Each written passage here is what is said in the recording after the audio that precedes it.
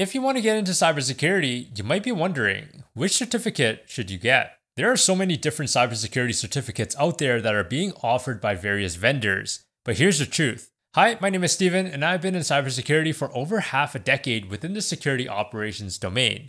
And this question comes up quite often. There is a misconception for those trying to get into this industry thinking that a certificate is all you need to land a job, and that is simply not true. So, what certificate should you get? Well, the answer is really it depends on what domain interests you the most. If you're looking to pursue a certificate, you want to ask yourself these two questions. Number one, what does it cover? Understanding the material of said certificate is important. You don't want to chase after certificates for the sake of obtaining them. For example, just because Bobby has a Linux fundamental certification doesn't mean that you should take it just to show that you have the skill and certificate, unless the position that you're going after requires it. If not, I would highly recommend you put your time and money into something else, which brings me to the second question. Number two, does this align with your interest? You see, cybersecurity is extremely wide and there are multiple domains within this industry.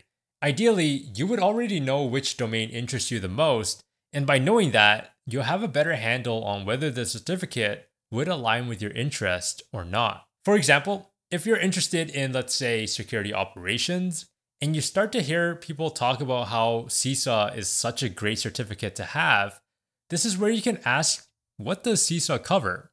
Oh, it covers auditing processes and implementation. Now, does that align with your interest? Well, no, it doesn't. This is more tailored towards an auditor, GRC, governance, risk, and compliance.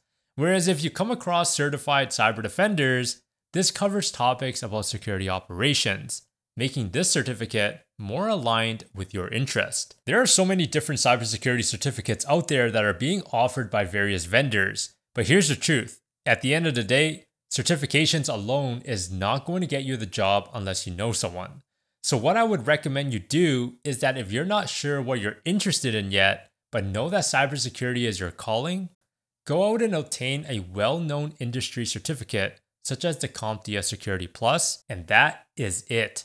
Hopefully, by that time, you'll have a better understanding of what domain that you want to get into as you'll need to start to work on your hands on skills relating to that domain. Network with others, do projects, and put yourself in scenarios that make you uncomfortable. Don't fall into the trap in trying to obtain and collect as many certifications as you possibly can, especially if you're short on money.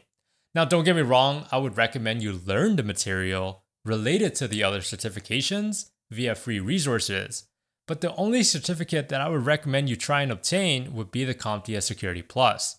That way, you can have something that you can put onto your resume and is fairly safe. In other words, many job postings have this as a nice to have or mandatory. To summarize, what cybersecurity certification should you get?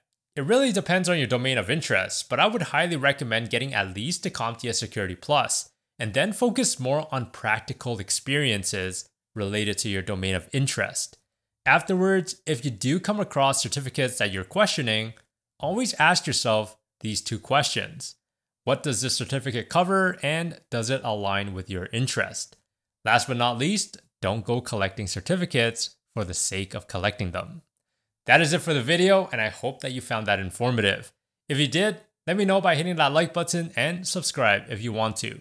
Remember to stay curious and do things differently.